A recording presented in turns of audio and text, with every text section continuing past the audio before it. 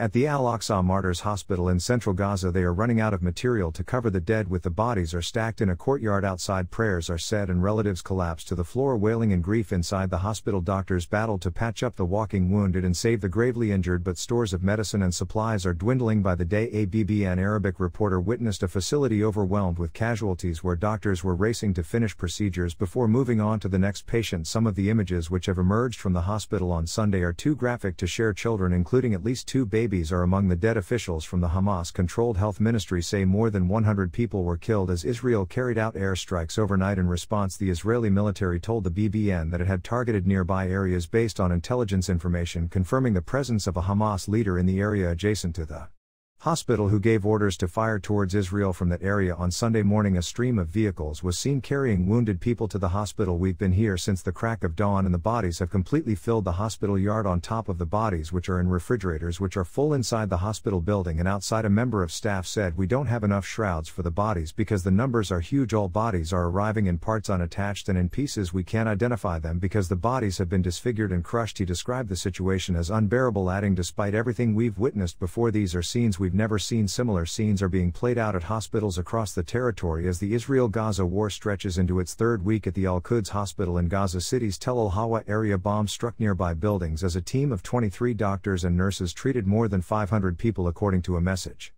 From a doctor in the hospital sent to the BBN patients and civilians sheltering in the hospital were living in a state of terror. The doctor, who did not want to be identified for his own safety, said in a voice message, and amid a health situation he described as catastrophic, doctors had to decide who to treat first. The rest joined the queue. Many of the wounded have been waiting several days for surgery. The doctor said his voice message was passed on by Norwegian doctor and activist Mads Gilbert of the Norwegian Aid Committee's emergency team. The medical staff has been depleted as some have been killed and others can't reach the site. The remaining staff now share their building building with 1,200 displaced people who are sheltering there. There are 120 wounded people with various injuries here. 10 patients are in ICU on ventilators, and we have about 400 chronic patients. The doctor said there are about 1,200 displaced citizens here. It is not easy to move such a large number of people, so we decided not to evacuate. The Israeli military has repeated its warning to everyone in the northern Gaza Strip to head south of Wadi Gaza, a strip of wetlands that winds across the territory for their own safety. Gaza City is to the north of Wadi Gaza, while Deir al Balah is to the south, hundreds of thousands of people have fled to southern parts of Gaza, but thousands more remain in their homes in northern Gaza. Hospitals across Gaza are desperate for supplies even after the first 28 trucks were able to enter from Egypt on Saturday, despite some food and medical supplies making it through. No fuel has entered Gaza since the conflict began. Hospitals are relying on fuel powered generators for their electricity. On Sunday, UNICEF warned that 120 babies in incubators, including 70 premature newborns also on ventilators, are dependent on machines linked up to backup generators which were deployed when Gaza's electricity supply from Israel was switched off. We have currently 120 neonates who are in incubators, out of which we have 70 neonates with mechanical ventilation, and of course, this is where we are extremely concerned, said UNICEF spokesman Jonathan Crickx Fikr Shalltoot Gaza director for Charity Medical Aid for Palestinians said some of the premature babies had been born amid the latest round of fighting on that ward. There is a 32 week old baby who doctors managed to save after its mother was killed in an airstrike. She told the BBN the mother and whole family died, but the baby was saved. She says death is certain for the child and others on the same ward if the generators stop running.